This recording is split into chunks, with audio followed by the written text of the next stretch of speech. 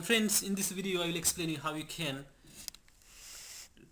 set or get the properties in Java. So to set the property you can use the syntax system.set property property uh, name and property value. So these are the two arguments. Then to load the system properties from the file say xyz.properties you can use this syntax.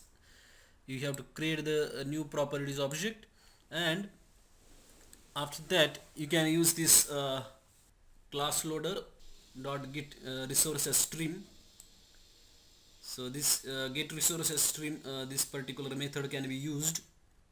Uh, load the resource uh, input stream associated with that particular properties file. And once it is input stream is found you can use this properties objects load method to load that particular values from the input stream so this xyz properties may uh, should contain the uh, pairs like uh, key and uh, its value key value like that with equal to sign in between them. And then all these properties can be set at one go.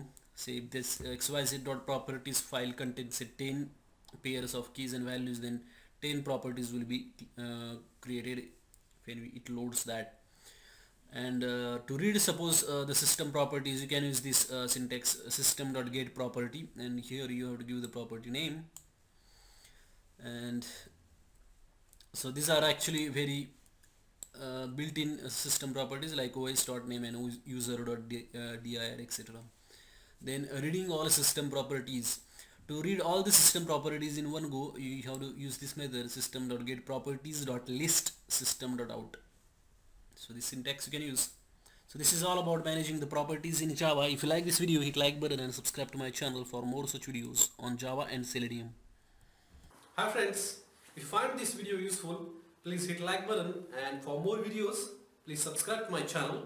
And also visit www.softforce.org for more tutorials and updated videos. Thanks for watching my video.